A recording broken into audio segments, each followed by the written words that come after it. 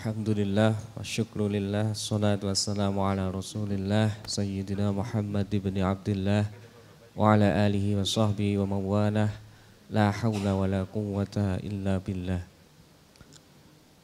Uh, Yang terhormat Kepala Biro Bina Mental Spiritual Seda DIY dalam hal ini diwakili oleh Kepala Bagian Analisis Kebijakan Sumber Daya Manusia Yang kami hormati Bapak Ustadz Kiai Haji Satori Abdul Rauf, pengasuh pesantren Darus Solihat. Bapak Ibu hadirin rahimakumullah.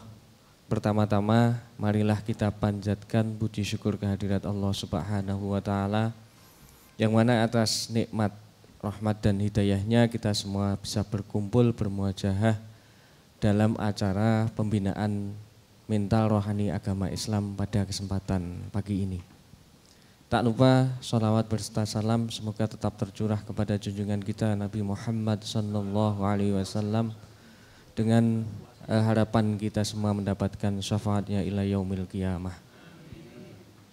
Bapak Ibu yang kami hormati, perkenankan pada saat ini saya selaku pembawa acara untuk menyampaikan urutan mata rantai acara yang hendak kita lalui. Untuk acara yang pertama pembukaan, kemudian acara yang kedua pembacaan ayat-ayat suci Al-Quran. Acara yang ketiga, sambutan.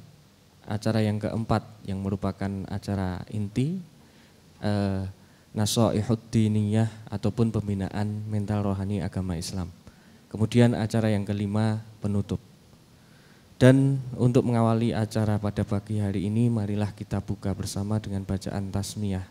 Bismillahirrahmanirrahim Masuki acara yang kedua yaitu pembacaan ayat-ayat suci Al-Quran oleh karenanya kepada Akhinal Karim Ustadz Nizam Zulfikar Semoga katur Bismillahirrahmanirrahim Assalamualaikum warahmatullahi wabarakatuh أعوذ بالله من الشيطان الرجيم بسم الله الرحمن الرحيم وسارئوا إلى مغفرة من ربكم وجنة أرضها السماوات والأرض. أعدت للمتقين.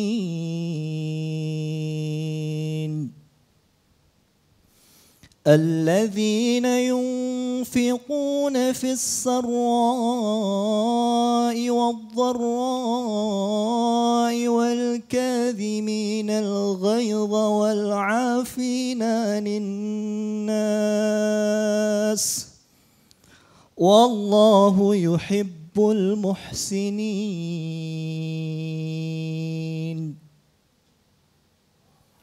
والذين إذا فعلوا فاحشة أو ظلموا أنفسهم ذكروا الله فاستغفروا لذنوبهم ومن يغفر الذنوب إلا الله ولم يصروا على ما فعلوا وهم يعلمون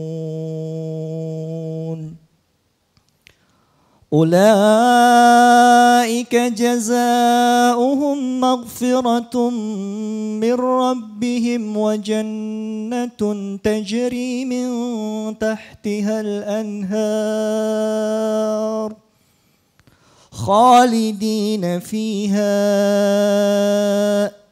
ونعم أجر العاملين صدق الله العظيم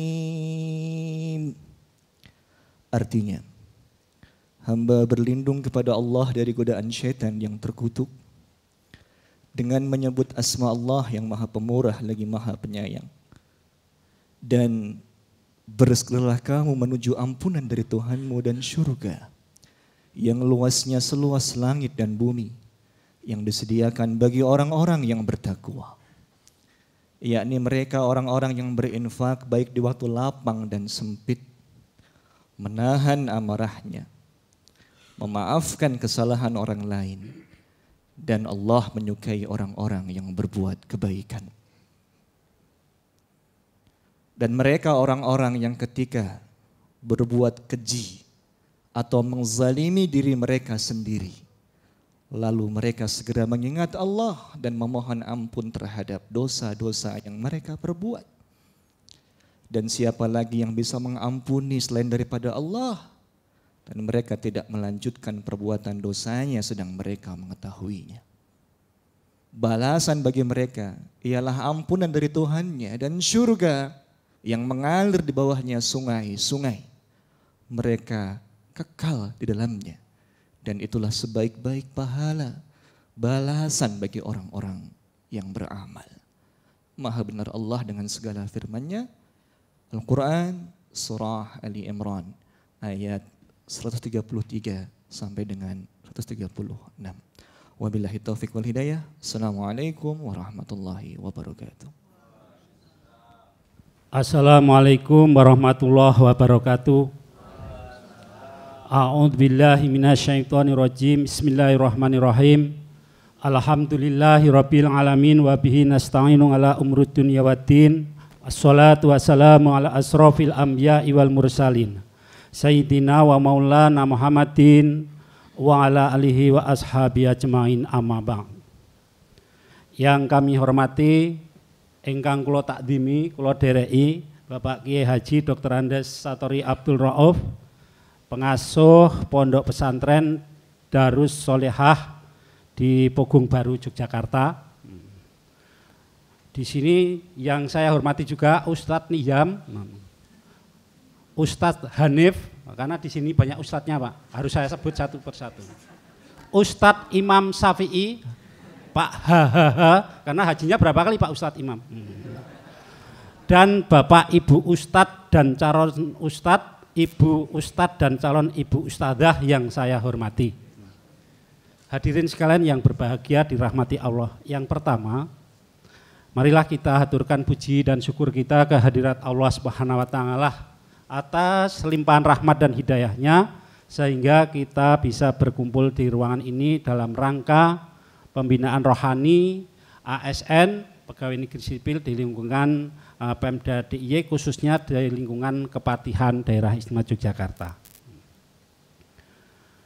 Selanjutnya sholawat dan salam kita sanjungkan kepada Nabi besar Muhammad Shallallahu Alaihi Wasallam berserta kerabatnya, termasuk umatnya kita semuanya yang pada saatnya nanti sangat mengharapkan sahabatnya di Iyamul Kiamah.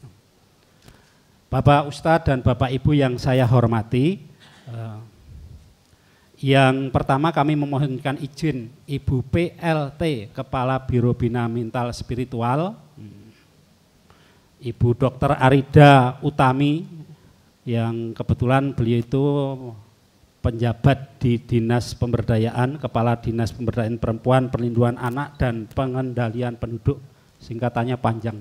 Yang hari ini karena bersamaan tugas dan menugaskan pada kami untuk menyampaikan beberapa hal kepada Bapak dan Ibu sekalian. Selanjutnya kami ucapkan terima kasih atas kehadiran dari Bapak dan Ibu sekalian memenuhi undangan dari pemerintah daerah daerah Istimewa Yogyakarta melalui Biro Bina Mental Spiritual yang pada pagi hari ini kita bersama-sama nanti akan melaksanakan kegiatan salah satu kegiatan dari Biro Bina Mental Spiritual. Mungkin sebelumnya kepada Pak Ustadz khususnya Pak Kiai Satori Abdul Rauf dan Bapak Ibu sekalian bahwa Biro Bina Mental Spiritual sebelumnya dulu Biro Kesra Pak. Kemudian tahun 2019 eh, kebijakan pemerintah melalui kegiatan undang-undang keistimewaan Biro Mental menjadi dua, menjadi Biro Administrasi, um, Biro Bermas, Pemberdayaan Masyarakat, um, dan juga Biro Bina Mental Spiritual. Salah satu tugas dari Biro Bina Mental Spiritual adalah menyiapkan kebijakan, bahan kebijakan Bapak Gubernur terkait dengan uh, pendidikan, kebudayaan termasuk kearsipan, kemudian perpustakaan, kemudian kesehatan dan juga uh, mental spiritual ataupun keagamaan. Pagi hari ini kita melaksanakan tugas, salah satunya adalah uh, kegiatan di subak sarana keagamaan, yaitu pembinaan mental rohani bagi aparat. Secara umum di bagian mental spiritual, hmm, khususnya sarana keagamaan itu mempunyai tugas yang Bapak juga pernah ngisi penyelenggaraan pembinaan mental rohani bagi uh, aparat dan pejabat. Artinya di lingkungan Pemda, TNI, Polri, instansi vertikal itu yang dilaksanakan setiap bulan sekali pada minggu pertama hari Rabu. Artinya tahun ini kita melaksanakan nanti 12 kali Kemudian untuk yang kegiatan internal seperti ini kita laksanakan empat kali. Hmm. Ini jadi nanti mohon eh, ini bisa dipergunakan semaksimal mungkin waktunya karena kesempatan ketemu dengan Pak Ustadz, Pak Kiai ini yang beliau aktivitasnya tidak seperti kita tapi mungkin lebih banyak eh, kesempatan yang baik ini nanti kita pergunakan sebaik-baiknya mungkin ada yang mau paring pamrayogi mau bertanya, menanyakan sesuatu, nanti sangat senang sekali beliau untuk berdiskusi bersama. Ini beberapa hal hmm, yang disampaikan oleh Biro Bina Mental Spiritual eh, pada kesempatan yang baik pada pagi hari ini. Sekali lagi kami ucapkan terima kasih kepada Pak Kiai Haji Dr. Andes Satori Abdul Rauf, kemudian juga Bapak Ibu sekalian, yang telah memenuhi undangan untuk bersama-sama kegiatan pembinaan rohani pada pagi hari ini. Demikian beberapa hal yang kami sampaikan. Barangkali ada hal yang kurang berkenan selama saya menyampaikan uh, informasi sambutan dari Biro Bina Mental. Saya mohon dimaafkan. Kita akhiri akhir kalam. Assalamualaikum warahmatullahi wabarakatuh. Masuki acara selanjutnya yang merupakan acara inti yaitu Nasoihud Diniyah atau pembinaan mental rohani agama Islam. Oleh karenanya kami mohon berkenan kepada Ustadz Kiai Haji Satori Abdul Rauf untuk memberikan ceramahnya. Semoga katur. Assalamualaikum warahmatullahi wabarakatuh. Bismillahirrahmanirrahim. Alhamdulillah wa syukurulillah. Thumma salatu wassalamu ala rasulillah Nabiyyina Muhammad ibn Abdullah Wa ala alihi wa ashabihi wa mawala La hawla wa la quwwata illa billah amma ba'd Bapak Ibu hadirin hadirah Keluarga besar Pemda DIY Wabil khusus Pak Iswantoro dan semua yang saya tidak bisa sebut satu persatu namanya Alhamdulillah. Satu kebahagiaan tersendiri bagi saya bisa sowan silaturahim di hadapan Bapak dan Ibu. Mudah-mudahan silaturahim ini diberkahi oleh Allah Subhanahu wa taala dan membawa kebaikan insyaallah bagi dunia kita dan juga akhirat kita. Amin. Allahumma amin Uh, Bapak Ibu, tema perbincangan kita hari ini iya, sebenarnya sesuatu yang lazim. Iya, kita ingin sama-sama hari ini ngaji babnya adalah bab matematika. Ini serius buat ngaji wa matematika. Ya, ini serius. Iya, jadi kita pengen ngaji matematika. Matematika itu kan buat menghitung. Iya, kita memang ingin sama-sama menghitung hidup dengan matematika. Tapi bukan sekedar asal matematika, tapi kita ingin menghitung hidup ini dengan matematika syukur. Iya. Ini matematika yang ingin kita pakai selama kita hidup. Iya. Pakai matematika syukur. Nah, kenapa kita bahas tema ini tidak lepas dari hakikat hidup? Uh, hidup adalah perjalanan yang penuh perhitungan. Betul Bapak Ibu? Saya mau nanya ibu, bu, dulu waktu akhirnya ibu menentukan iya untuk laki-laki yang saat ini jadi bapaknya anak-anak, itu pakai menghitung nggak bu? Pasti ada hitungannya, betul? Ya, kalau bapak-bapak pakai yang hitung nggak pak?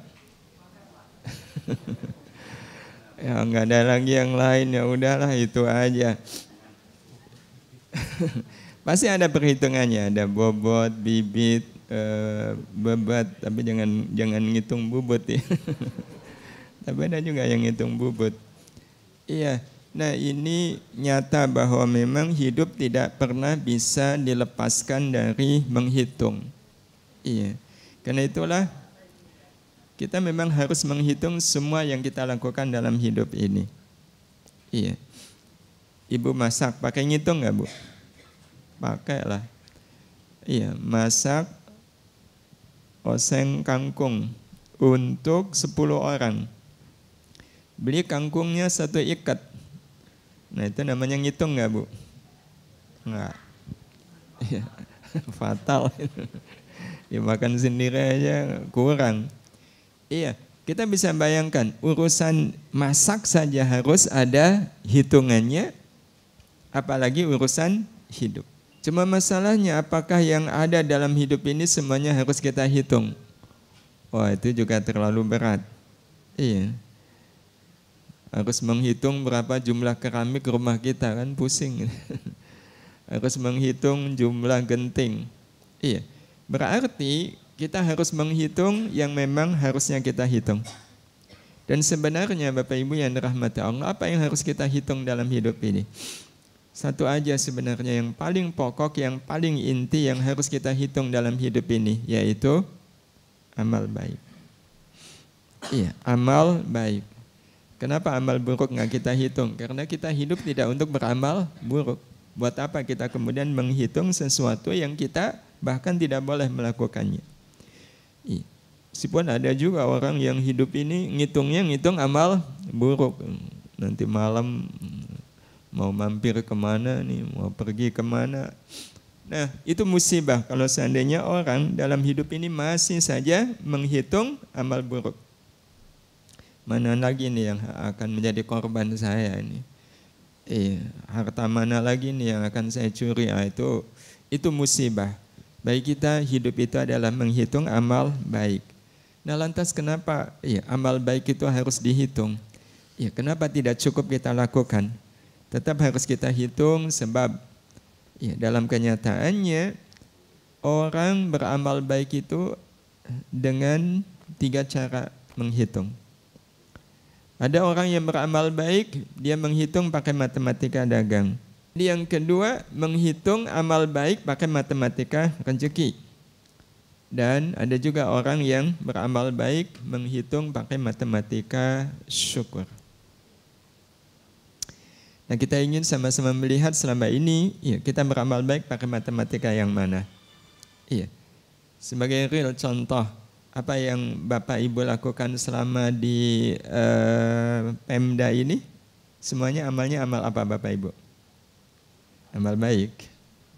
Iya. Semua yang Bapak Ibu lakukan di tempat ini semuanya adalah amal baik. Pertanyaannya, semua kebaikan yang Bapak Ibu lakukan di tempat ini itu Bapak Ibu hitung pakai matematika yang mana. Dan ini juga berlaku untuk amal-amal kita yang lain. Ada orang yang beramal baik pakai matematika dagang, ada yang pakai matematika rezeki, dan ada yang pakai matematika syukur. Terus apa bedanya? Iya, apa bedanya? Jelas beda. Iya, beda matematika pasti beda rumus. Iya. Dan karena beda rumus, akibatnya pun berbeda. Iya, akibatnya pun berbeda. Ada dagang, ada rezeki, ada syukur. Iya, itu sangat berpengaruh amal baik kita terhadap kehidupan kita sehari-hari. Iya, sangat berpengaruh.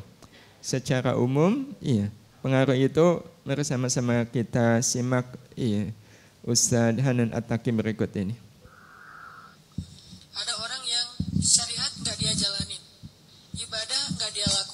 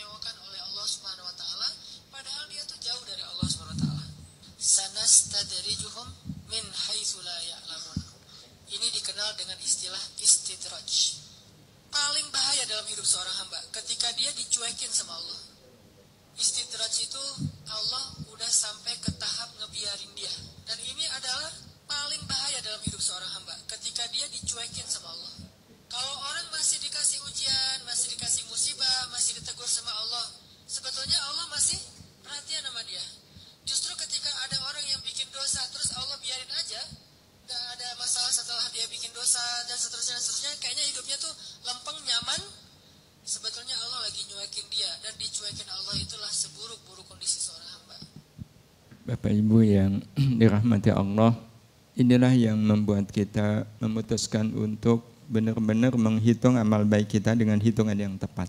Ya, sebab kalau hidup ini, terutama amal baik kita, ya, tidak kita hitung dengan hitungan yang tepat, bisa jadi yang kita peroleh cuma capek. Ya, kita tidak mendapatkan apa-apa dari amal baik karena kita salah hitung. Dan salah hitung itu iya bermula dari salah menentukan cara kita menghitung. Nah karena itu Bapak Ibu yang dirahmati Allah sejak kita ingin iya mengetahui beda matematika dagang, rezeki sama syukur. Nah bedanya pada rumus. Iya. Kalau orang beramal baik pakai matematika dagang maka rumusnya ini. Rumusnya adalah amal baik itu pengurang keuntungan dunia. Itu orang yang beramal baik pakai matematika dagang. Ya, bagi orang seperti ini amal baik adalah pengurang keuntungan dunia atau kesenangan dunia. Sebagai contoh, penghasilan sebulan 10 juta, harus zakat 2,5 persen. Kenanya berapa? 250 ribu. Iya, sebenarnya nggak seberapa.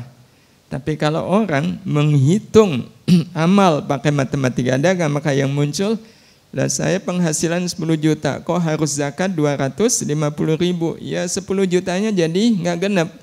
Itu baru zakat, belum lagi nanti infak, sedekah, nyumbang sana, nyumbang sini, habislah sudah uang 10 juta. Nah ini berarti orang seperti ini dia menghitung zakat, dia menghitung infak dengan matematika dagang. Iya. Ada juga orang yang sholat dihitungnya pakai matematika dagang.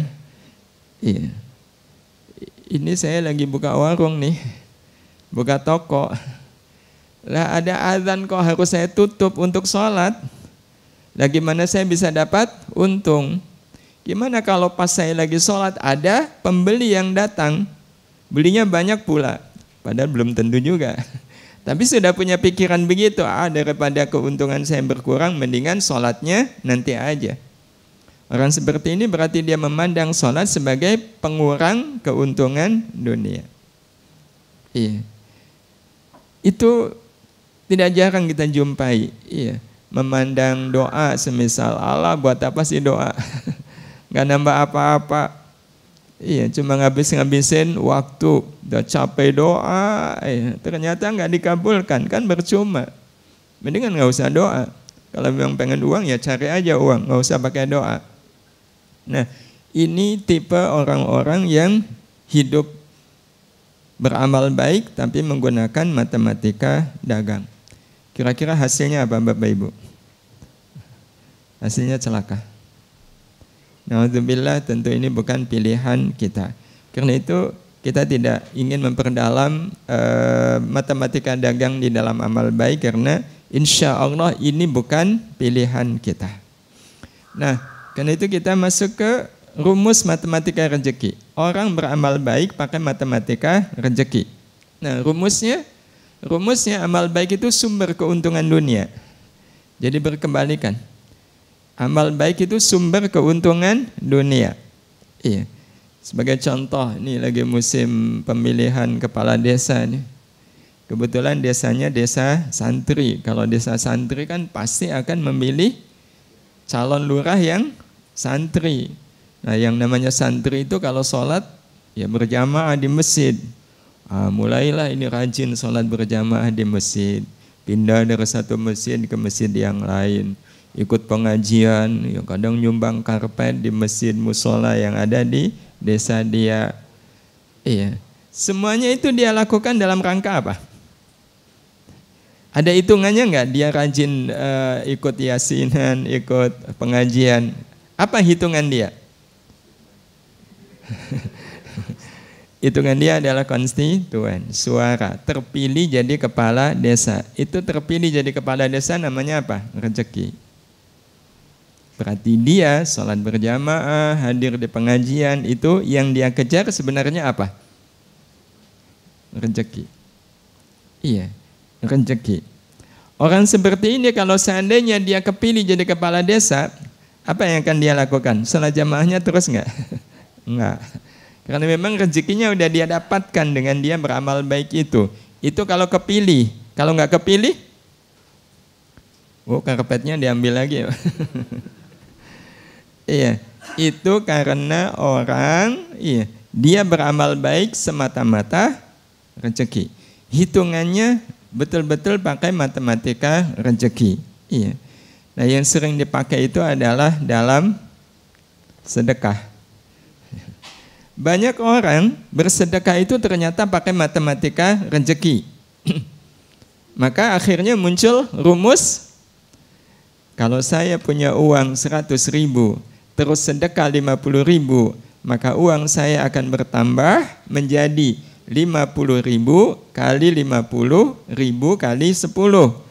10 itu kalau kelipatannya 10, kalau balasannya 700 kali kan kalinya kali 700. Kalau kali 10 aja saya akhirnya dapat uang 550 ribu. Dari 100 ribu bertambah menjadi 550 ribu. Lumayan nggak Bapak Ibu? Agak lumayan. Berarti orang seperti ini ketika dia sedekah, dia sedekahnya pakai matematika rezeki. Berarti waktu dia sedekah sebenarnya yang dia cari apa? Iya, yang dia cari rezeki. Iya. Loh, kalau pahala kenapa pakai ngitung ini, Pak? kalau pahala kenapa dihitung ini? Kalau pahala kan pahala dengan rezeki lebih tinggi mana? Ah, udah. Kalau pahala segala-galanya, orang malah lupa dengan hitungan seperti ini. Tapi kemudian memerlukan diri dengan hitungan seperti ini, itu berarti orang yang bersedekah seperti ini, dia bersedekah dengan matematika rezeki. Yang paling sering juga dilakukan iya, oleh uh, kaum muslimin adalah pada saat melaksanakan sholat duha. Kita coba tanya orang yang sholat duha, apa jawabannya? Pak kenapa sih rajin amat sholat duha? Apa jawabannya? Biar rezekinya lancar, biar rezekinya mudah, biar rezekinya banyak. Berarti matematika yang dia pakai waktu sholat duha matematika apa? Rezeki. Dia cari rezeki dengan cara sholat duha. Pertanyaannya, Salah nggak kalau seandainya kita sholat duha biar rezekinya banyak?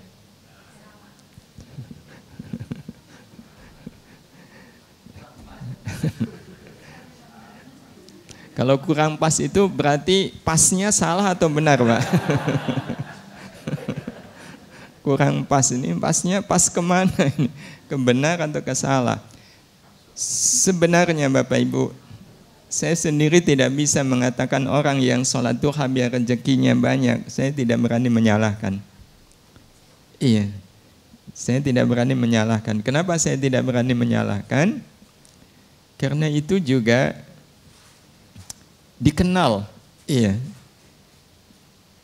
di surat Asyura ayat yang ke-20, iya, surat ke-42 ayat ke-20 Allah Subhanahu wa taala uh, berfirman Awalnya Allah berfirman man kana yuridu akhirah nazid lahu fi kharthi. Barang siapa yang beramal baik karena mengharapkan bala, ba, apa, balasan di akhirat. Kharthal akhirah. Mengharapkan, menginginkan balasan di akhirat. Nazid lahu fi kharthi. Kami akan tambahkan untuknya balasan akhirat itu nazid lahu. Kami akan tambahkan balasan untuknya di akhirat nanti. Itu bagi yang beramal baik karena mengharapkan balasan akhirat. Tapi wa man kana yuridu hartad dunya dan barang siapa yang menginginkan balasan dunia dari amal baiknya. Nah, salah satu balasan dunia kan rezeki. Rezeki dunia. Apa kata Allah? Nu'tihi minha. Kami akan berikan balasan dunia itu. Artinya Allah juga merespon orang-orang yang beramal baik karena menginginkan balasan dunia. Allah katakan nu'tihi minha. Kami akan berikan balasan dunia itu. Itu artinya salah nggak Bapak Ibu? Enggak. Karena Allah merespon, kami akan berikan balasan dunia itu. Tapi lihat lanjutannya. Wa ma lahu fil akhirati min nasib. Wa ma dan tiadalah lahu untuknya fil akhirati di akhirat nanti apa yang tidak ada min nasibin bagian. Di akhirat nanti tidak ada bagian. Enggak ada. Iya. Jadi kalau diilustrasikan kalau seandainya ada orang yang ketika hidup di dunia rajin salat duha biar rezekinya banyak, pas nanti di akhirat lihat buku catatan amal, kok di situ nggak ada catatan salat duha, padahal rajin banget. Nanya sama malaikat, malaikat, saya kan dulu rajin salat duha, kok di buku catatan amal baik saya nggak ada ini salat duha, kenapa? Ya malaikat akan nanya, Pak Bu dulu waktu di dunia sholat duha itu biar apa? Jawabannya biar rezekinya banyak. Terus rezekinya banyak enggak? Ya lumayan lah. Iya, lumayan lah rezeki saya banyak. Ya udah, berarti udah dibalas oleh Allah di dunia. Sudah dibayar lunas oleh Allah Subhanahu wa taala di dunia. Karena memang amal baik itu tujuannya untuk mendapatkan balasan dunia, rezeki dunia. Maka orang-orang yang beramal pakai matematika di matematika rezeki ini di akhirat bakalan apa Bapak Ibu? Gigit jari. Kecewa. Karena dia tidak mendapatkan apa-apa wa ma lahu fil akhirati min nasib. Berarti kalau begitu apakah beramal baik pakai matematika rezeki pilihan? Bukan. Karena masih ada satu pilihan lagi dan inilah sebenarnya pilihan terbaik kita. Beramal pakai rumus matematika syukur. Kalau matematika syukur rumusnya amal baik itu sumber keuntungan akhirat. Sumber keuntungan akhirat. Iya. Amal baik itu adalah sumber keuntungan akhirat. Dasar dari matematika syukur ini adalah apa yang dikatakan oleh Allah di surat Asy-Syura ayat yang ke-20 tadi. Ya, bagian awalnya. Man kana yuridu akhirah nazid lahu fi harthi.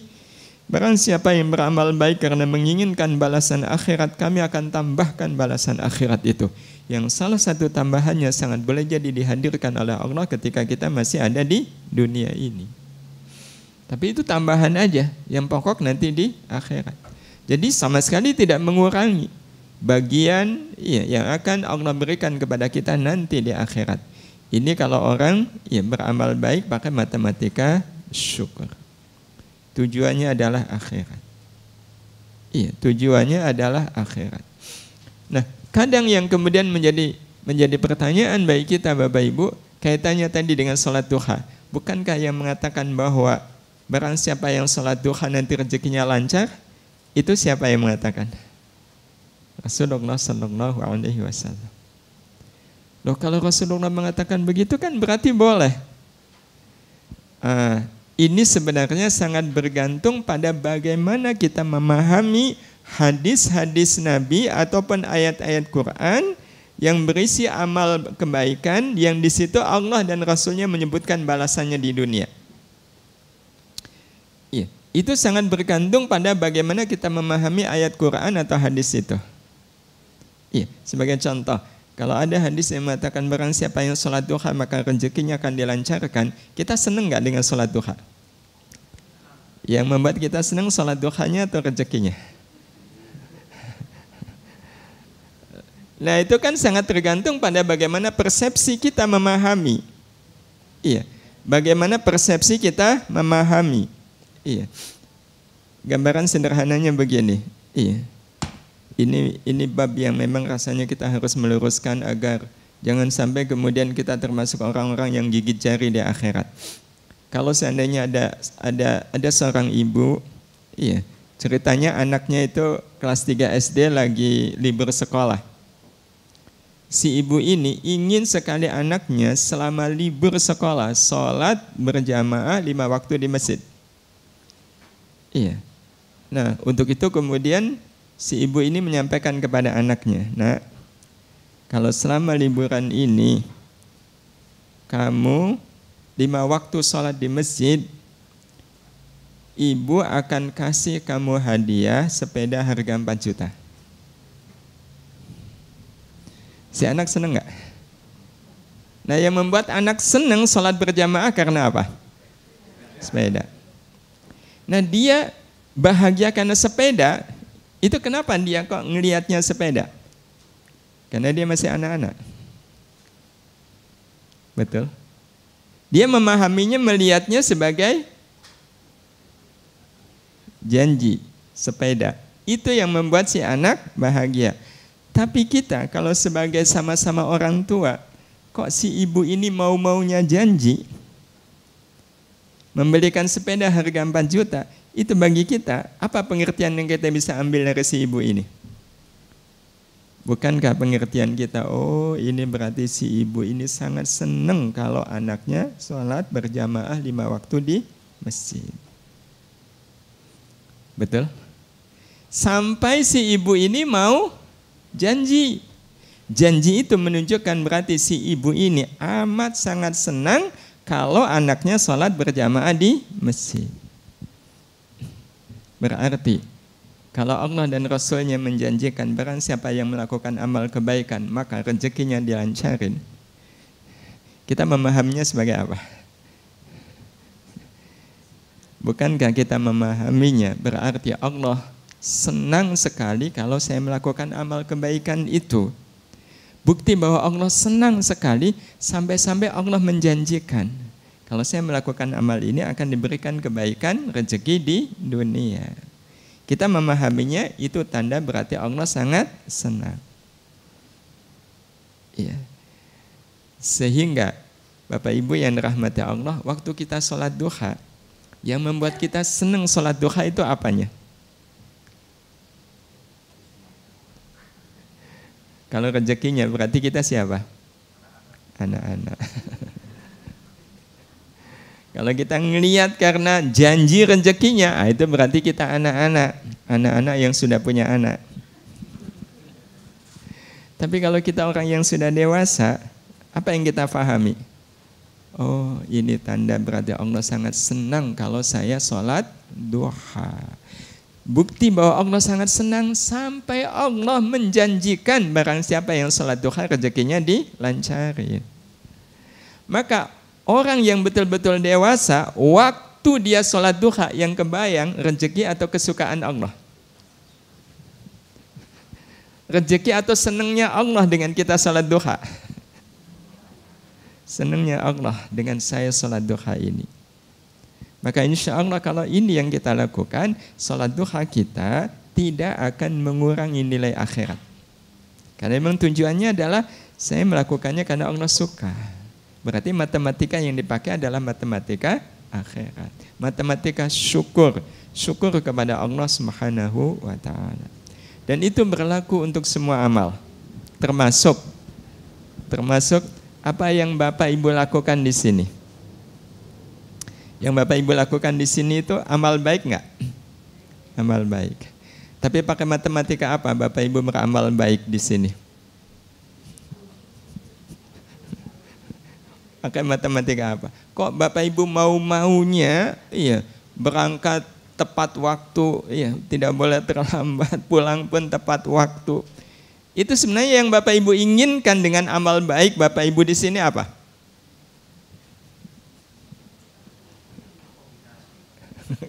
kombinasi. kombinasi.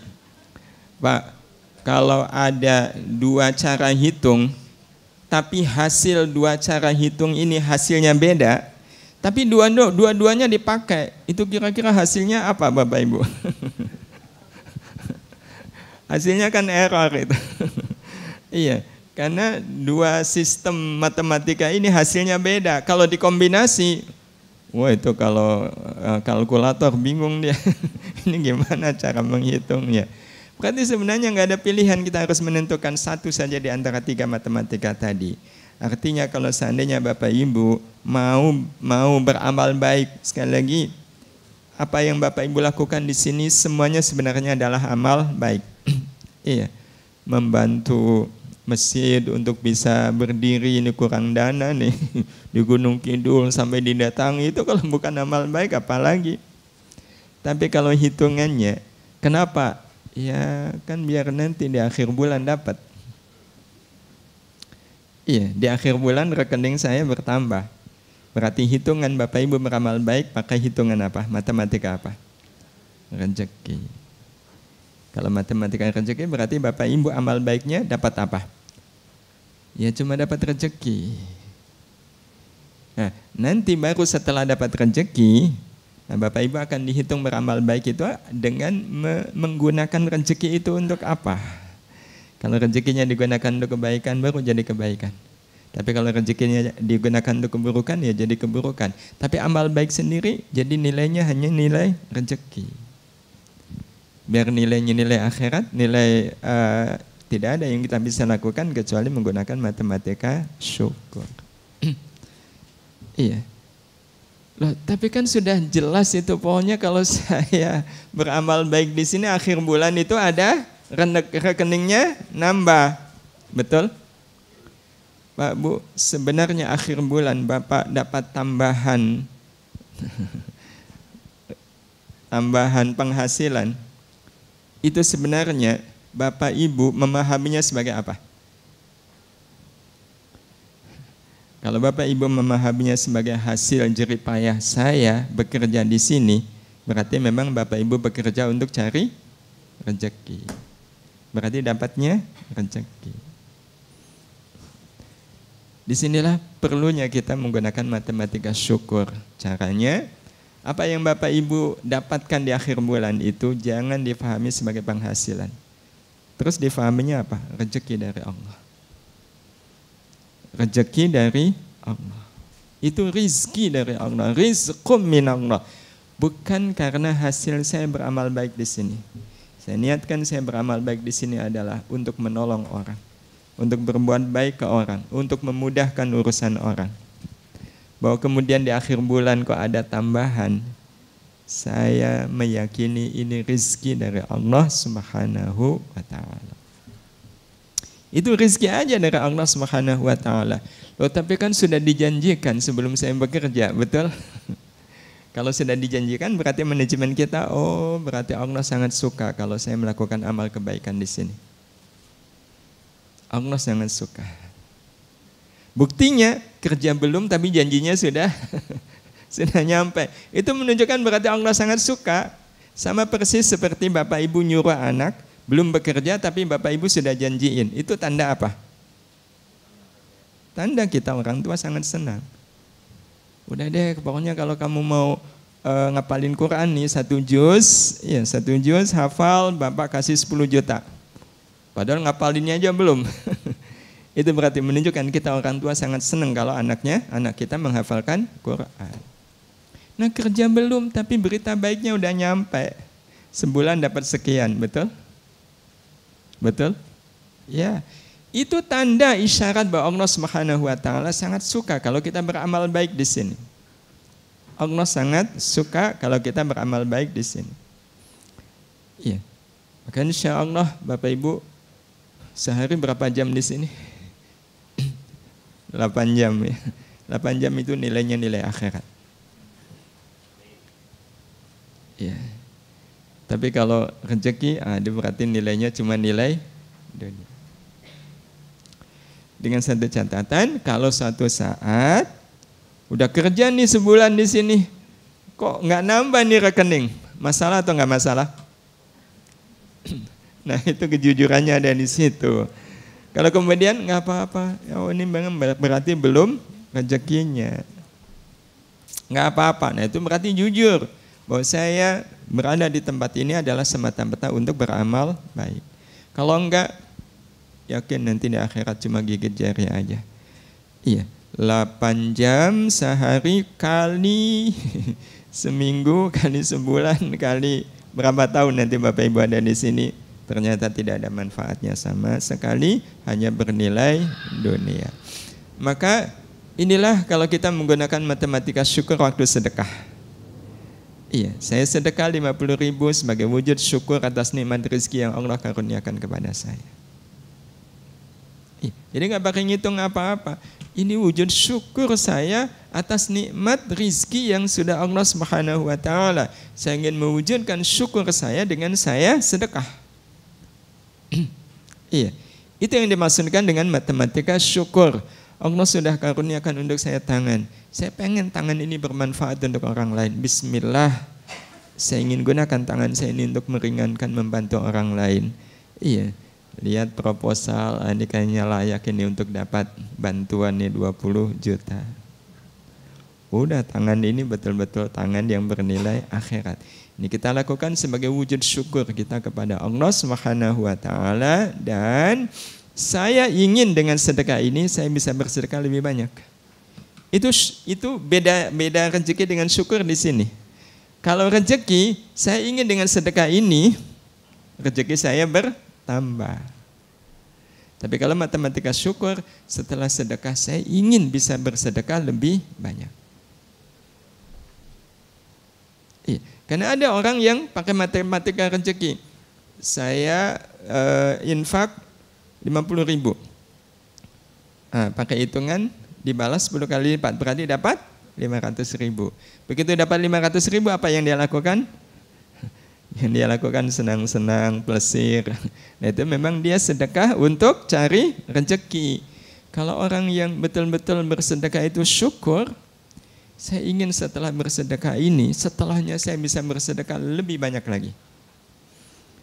Inilah yang dikatakan oleh Allah Subhanahu wa taala di surat Ar-Rahman ayat yang ke-60 hal jazaul ihsan illal ihsan dan tiadalah balasan dari kebaikan kecuali kebaikan. Para mufasir mengatakan makna ayat ini adalah hal jazaul ihsan illal ihsan berarti memiliki makna tiadalah balasan kebaikan itu kecuali kita kembali berbuat baik. Iya. Setelah berbuat baik, kembali berbuat baik, kembali berbuat baik. Nah, itu berarti kebaikannya dibalas dengan kebaikan. Inilah rumus matematika syukur. Jadi setelah saya sedekah, saya diberi kesempatan lagi oleh Allah sedekah. Itu berarti sedekah yang kemarin dibalas oleh Allah Subhanahu wa taala. Inilah yang dimaksudkan dengan balasan yang sesungguhnya. Wujudnya adalah amal kebaikan yang lebih baik daripada kebaikan yang kita lakukan sebelumnya. Jadi kemarin saya sedekah 50 ribu. Alhamdulillah sekarang saya bisa sedekah 70 ribu. Nah kalau kemarin sedekah 50 ribu sekarang bisa sedekah 70 ribu. Itu berarti uang dia semakin sedikit atau semakin banyak? Semakin banyak. Tapi itu bukan yang menjadi target dia. Dan Allah pasti akan membantu. Iya, Allah pasti akan membantu.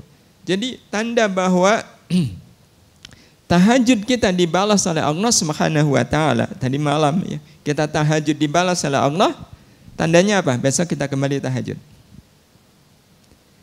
Iya, besok kembali kita tahajud, tahajud, tahajud, tahajud. Di mana tahajud kita hari ini lebih baik dari tahajud kita kemarin, tahajud kita esok lebih baik dari tahajud kita hari ini. Inilah makna dari hal jazaul ihsan illa ihsan. Sehingga kehidupan kita naik naiknya bukan secara duniawi tetap, tetapi secara ukhrawi. Jadi setelah beramal baik, kembali beramal baik adalah tanda diterimanya amal.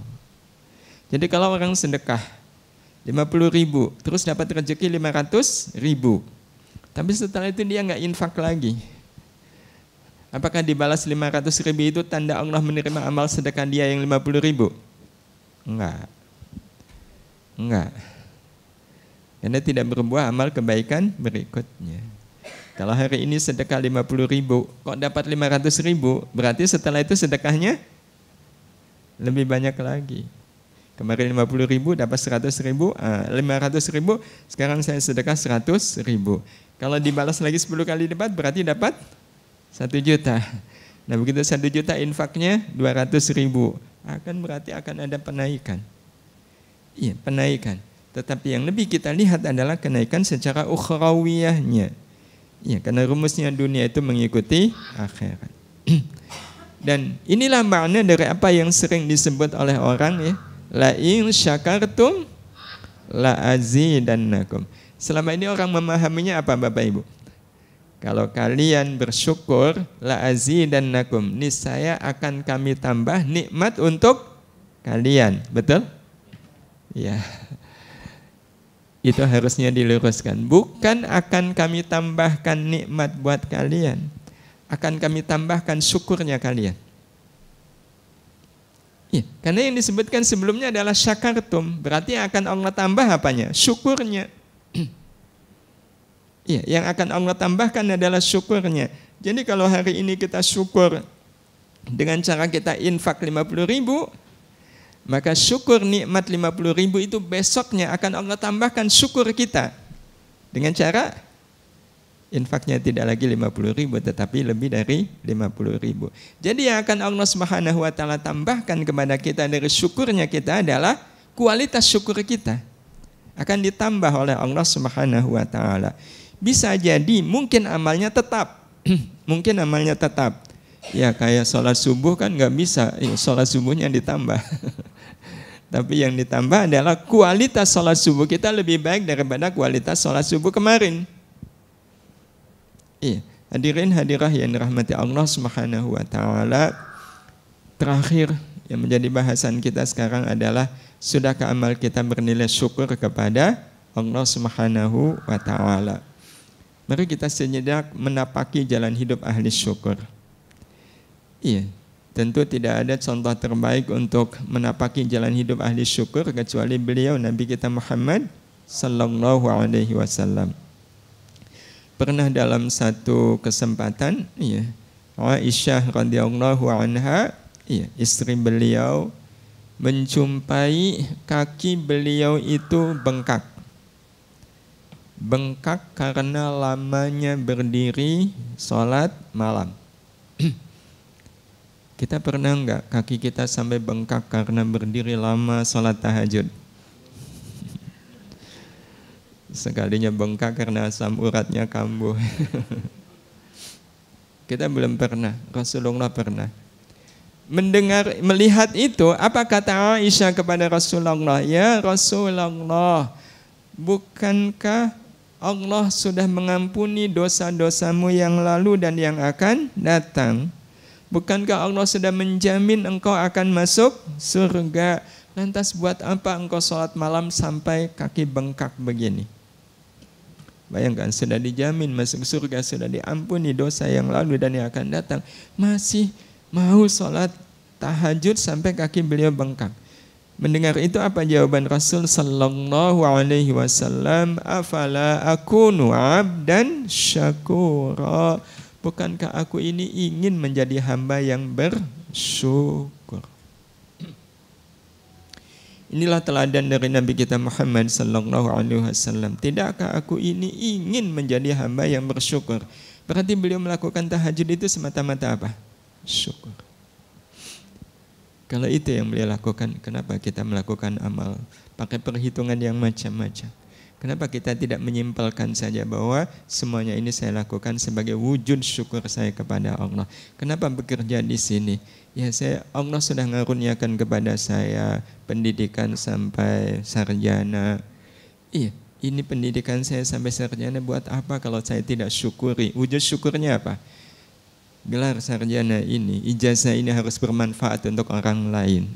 Bermanfaat untuk orang lain. Gimana caranya? Nah, bergabunglah dengan teman-teman di Pemda di sini, ngurusin banyak orang. Insya Allah berarti ijazahnya manfaat.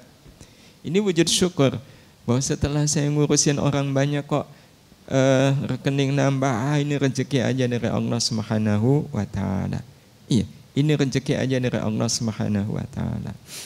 Iya, Pak Bu, sebenarnya kita hidup ini butuh uang berapa? Eh, butuh uang berapa? Banyak. Baik, kalau butuh uang banyak, kalau butuh uang banyak, sebenarnya hidup kita tinggal berapa lama?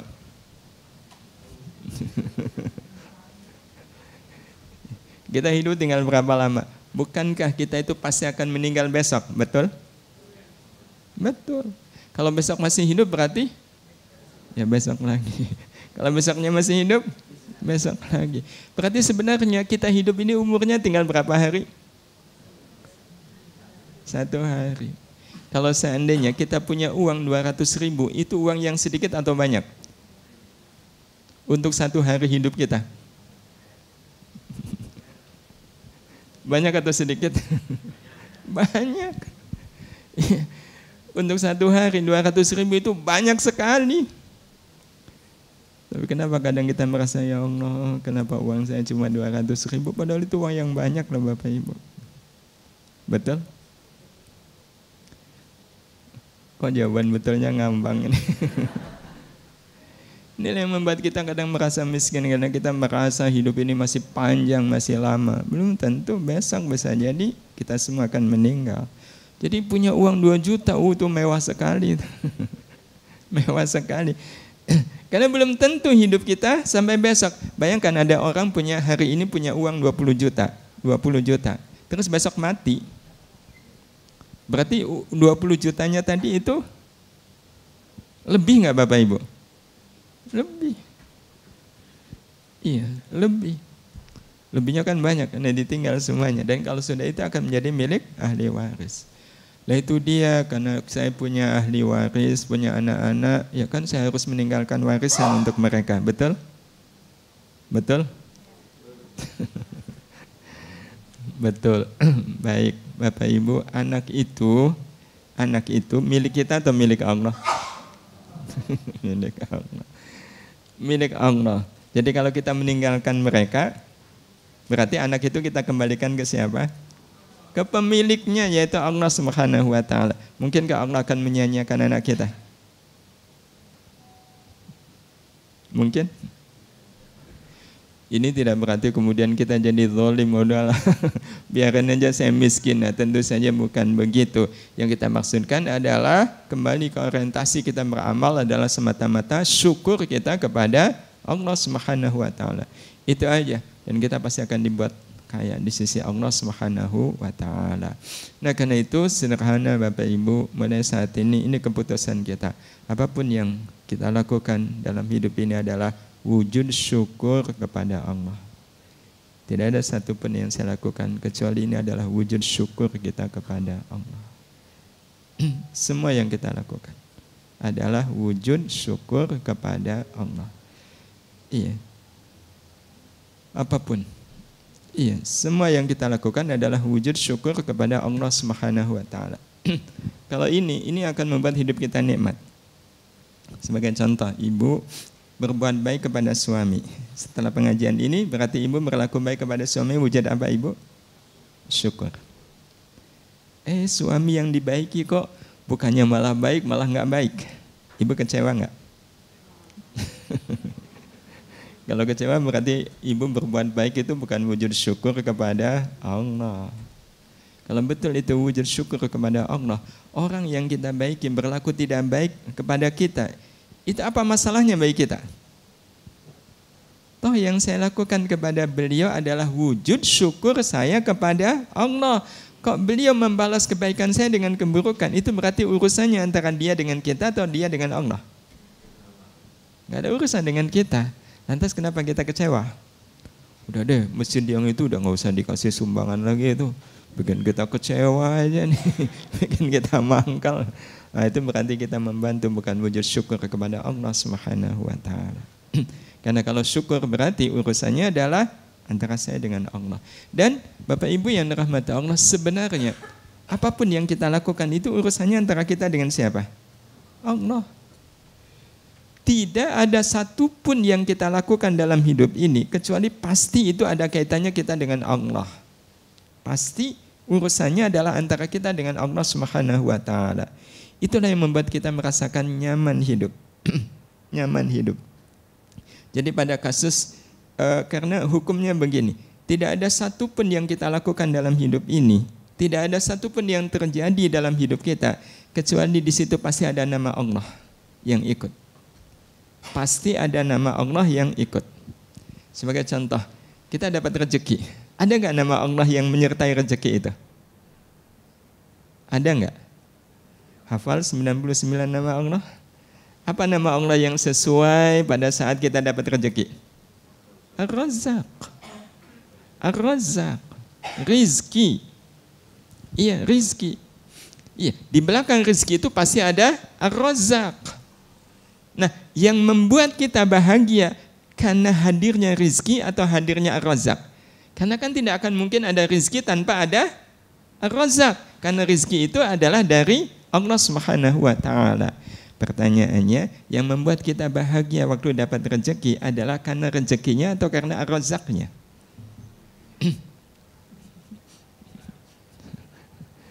yang mana yang membuat kita bahagia? Itu akan menunjukkan apakah kita sudah menjadi hamba yang bersyukur.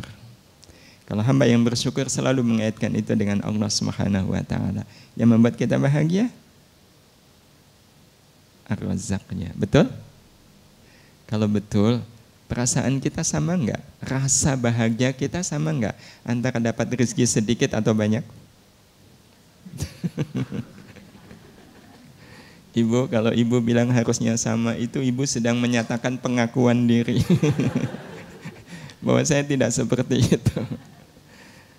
Ya, memang betul harusnya sama. Kalau kemudian tidak sama berarti ada apa di dalam diri kita? kita mengabaikan Allah. Kita mengabaikan Allah. Karena tidak mungkin kita dapat rezeki kecuali Allah yang memberikannya. Iya, kecuali Allah yang memberikannya. Bapak Ibu yang dirahmati Allah, bagaimana kalau rezeki yang sudah sampai kepada kita itu diambil orang lain? Senang atau mangkal? Padahal ini analogi saja Bapak Ibu, analogi. Kalau seandainya kita punya paman, iya, nama paman ini sudah ada di hati kita karena kita mencintai beliau. Nah, mencintai nama paman itu ada di hati kita. Iya, paman itu namanya Abdul Razak. Suatu saat pas kita pulang ke rumah, kita ngelihat di meja, di meja ada kue yang saya tahu kalau ada kue begini berarti paman Abdul Razak datang ke rumah. Karena hanya beliau yang bawa kue seperti ini. Tidak ada yang bawa kue kecuali Pak Abdul Razak. Begitu ngelihat kue itu di rumah, kita seneng nggak? Seneng. Kita seneng karena ngelihat kuenya atau karena itu tanda berarti Pak Abdul Razak datang ke rumah. Yang membuat kita senang.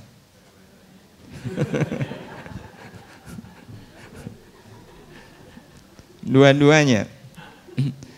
Baik, kalau dua-duanya saya kejar nih Pak. Bapak Ibu yang dirahmati Allah Subhanahu wa taala. Tapi sebenarnya mana yang lebih membuat kita senang? Kuenya atau tanda Bapak Abdul Razak datang? Ya tinggal mana yang lebih berharga kan kue atau paman. Itu aja. Iya, kalaupun kuenya enak, kita pun kemudian masuk ke dalam, eh nanya sama anak, paman ke sini ya? Iya ibu, iya tapi lagi istirahat. Wah, Alhamdulillah. Rasa bahagianya ada Bapak Ibu? Ada. Eh pas keluar, kue yang tadi kita lihat yang kita sebenarnya suka, udah nggak ada dimakan anak-anak. Mangkel nggak Bu? kan enggak. ya nggak apa-apa. Karena yang membuat saya senang bukan semata-mata rezekinya, tapi Pak Abdul Razak hadir di rumah ini. Itu yang membuat kita bahagia. Betul? Ini yang sekali lagi Bapak Ibu kita belum sepenuhnya menjalani hidup ini dengan syukur.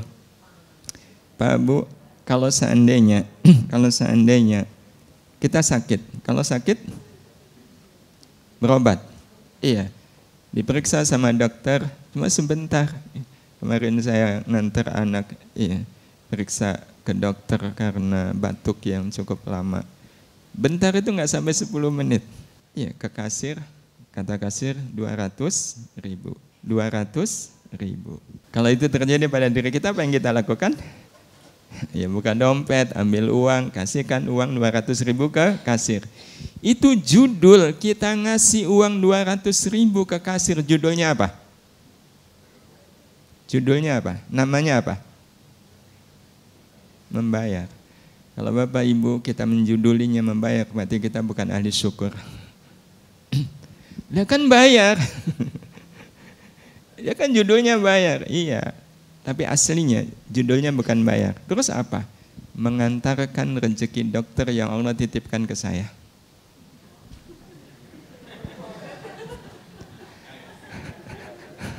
Lah betul nggak Bapak Ibu? Betul. Allah memang menitipkan rezeki 200 ribu untuk dokter lewat kita. Biar kita menyampaikannya ke dokter. Caranya adalah Allah buat kita sakit. Yang membuat kita sakit siapa? Itu salah satu cara agar kita bisa mengantarkan rezeki dokter yang 200 ribu itu. Berarti waktu kita ngasih 200 ribu ke dokter, kita merasa uang kita berkurang nggak? kurang. Memang berarti syukur kita kurang banget.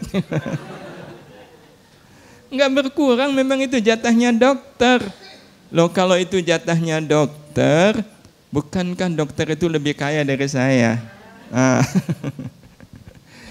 Loh kalau dokter lebih kaya dari saya, ah, kalau dokter lebih kaya, seandainya nih dokternya lebih kaya dari kita, tahukah enggak? Tahukah kita Bapak Ibu yang rahmati Allah, itu adalah kehormatan dari Allah yang jauh lebih terhormat bila dibanding kalau seandainya kita menjadi jalan rezeki untuk orang yang tidak lebih kaya dari kita. ya, kalau kita dipilih oleh Allah menjadi jalan rezeki untuk orang yang tidak lebih kaya dari kita itu mah biasa. Betul? Itu biasa. Nah dia tidak lebih kaya dari saya. Apalagi bahasa lebih jelasnya dia miskin. Saya kaya. Saya kok dipilih oleh Allah menjadi jalan rezeki. Dipilihnya bagaimana? Dia miskin kok datang ke saya minta bantuan. Kan berarti kita dipilih oleh Allah menjadi jalan rezeki beliau. Menjadi jalan rezeki untuk beliau. Nah ini beliau lebih kaya dari saya. Kok saya dipilih untuk menjadi jalan rezekinya? Itu kehormatan yang lebih terhormat. Itu kehormatan dari Allah yang lebih terhormat. Bila dibanding kalau seandainya kita menjadi jalan rezeki untuk orang yang tidak lebih kaya dari kita. Berarti kalau kita betul-betul menjadikan syukur iya, sebagai jalan hidup, enak nggak hidup ini Bapak Ibu? Terakhir, terus bagaimana caranya? Iya, Bapak Ibu yang dirahmati Allah Subhanahu wa taala agar kita sepenuhnya bisa menjadi ahli syukur. Ahli syukur adalah orang yang beramal baik semata-mata karena ini pertama, Allah suka.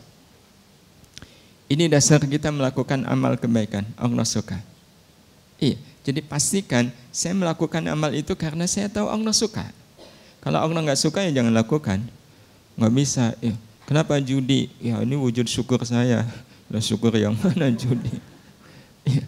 Pastikan bahwa amal yang saya lakukan itu adalah amal yang Allah suka seminimal-minimalnya Allah suka adalah Allah tidak melarang. Itu seminimal-minimalnya Allah suka adalah Allah tidak melarang. Kalau Allah melarang jelas ya kita nggak bisa ada di situ. Justru wujud syukurnya adalah meninggalkannya. Iya, ibu kenapa pada ngerumpi? Ah ini wujud syukur kami kepada Allah. Wah itu bisa bisa bahaya. Jadi kita memastikan bahwa amal itu amal yang Allah suka. Iya. Salat berjamaah di masjid Allah suka? Ah, maka itu jadikan sebagai pilihan. Yang kedua, dengan cara yang paling Allah suka. Jadi amal itu Allah suka, kita juga melakukannya dengan cara yang paling Allah suka. Iya, melayani orang lain. Yang paling Allah suka wajah kita senyum atau manyun? Senyum. Maka layanilah masyarakat dengan wajah yang senyum. Kenapa? Karena inilah yang paling Allah suka. Iya, inilah yang paling Allah suka. Jadi selalu saja ke Allah Subhanahu wa taala.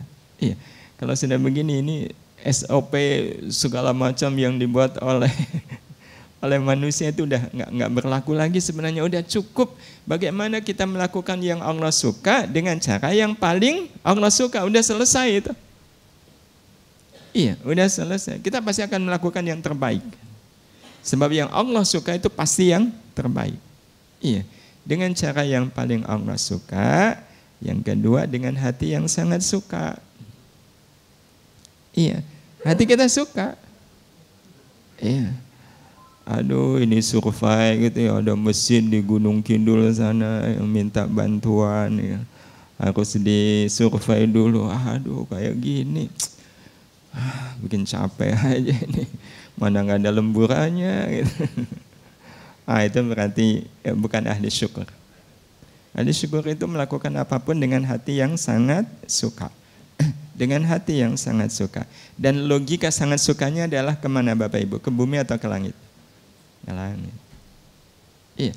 Bapak ibu yang dirahmati Allah subhanahu wa taala berbuat baik kepada orang yang baik kepada kita Allah suka nggak? Suka. Berbuat baik kepada orang yang nggak baik kepada kita, Allah suka nggak? Suka. Mana yang lebih Allah sukai? Berbuat baik kepada orang yang nggak baik kepada kita, betul? Maka waktu kita berbuat baik kepada orang yang nggak baik ke kita, hati kita suka nggak?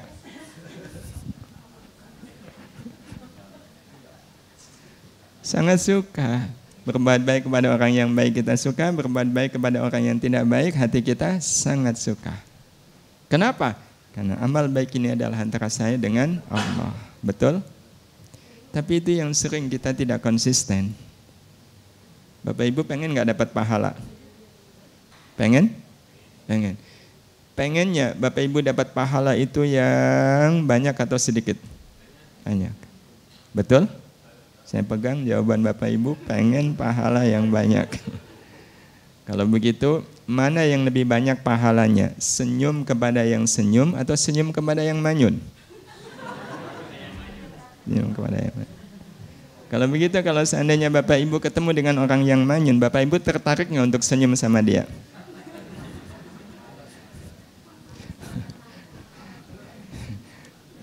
Betapa kita jauh dari syukur.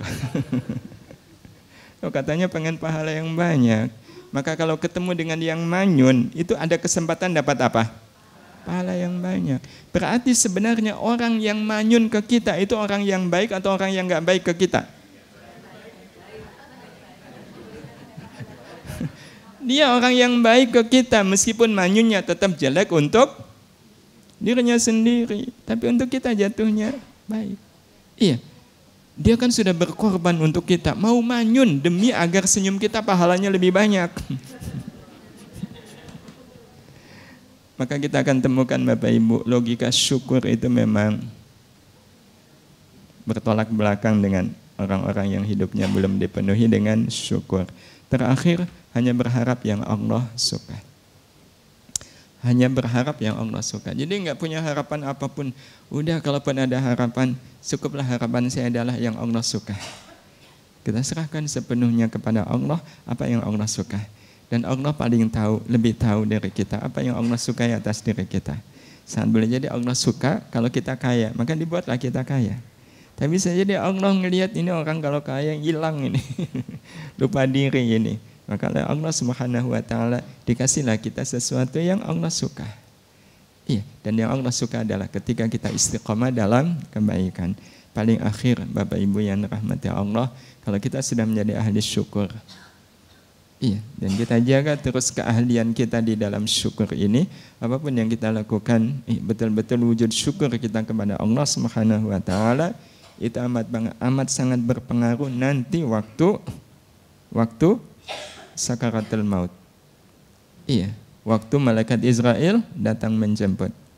Iya, Bapak Ibu, malaikat Israel kedatangannya itu kita inginkan atau tidak kita inginkan? Tidak kita inginkan. Belum kita inginkan bahasa halusnya. Iya, tapi kata belum ini akan terjaga dengan baik sampai kapan pun. Buktinya kalau tahun depan saya ketemu lagi gimana? Sudah pengen didatangi oleh malaikat Israel? Jawabannya belum, iya. Nanti tahun depannya belum. Tapi walaupun kita belum ingin didatangi oleh beliau, pada saatnya nanti beliau akan datang kan? Betul? Kalau betul, Bapak Ibu waktu beliau datang, Bapak Ibu pengennya menyambut beliau itu dengan bersabar atau bersyukur? Lo beda lo bu bersabar sama bersyukur. Ya tinggal lihat aja mana yang lebih enak sabar atau syukur. Yang lebih enak syukur. Iya, yang lebih enak adalah syukur. Iya, dan kira-kira nanti kalau beliau datang, kita akan menyambut beliau dengan apa Bapak Ibu? Itu sangat tergantung pada bagaimana kita hari ini. Tapi bayangkan kalau seandainya nih Bapak Ibu hari ini di rumah kita kedatangan tamu yang sebenarnya saya tidak ingin beliau datang, teman, iya, saya sebenarnya tidak ingin beliau datang, tapi kalau beliau datang, ya mau nggak mau kita harus menemui kan? Kira-kira menemui beliau yang kedatangannya tidak kita inginkan itu, kita menemui beliau pakai sabar atau syukur?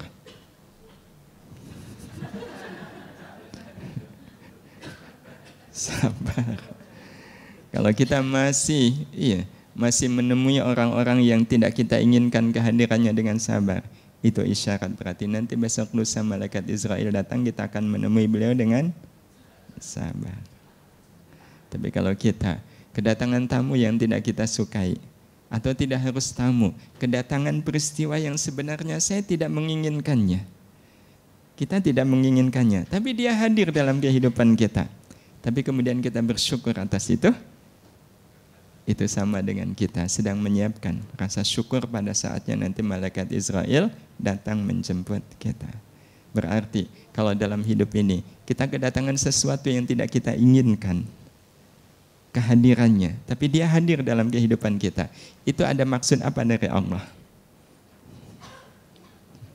Allah sedang melatih kita agar pada saat yang nanti malaikat Israel datang, kita akan menyambut beliau dengan syukur.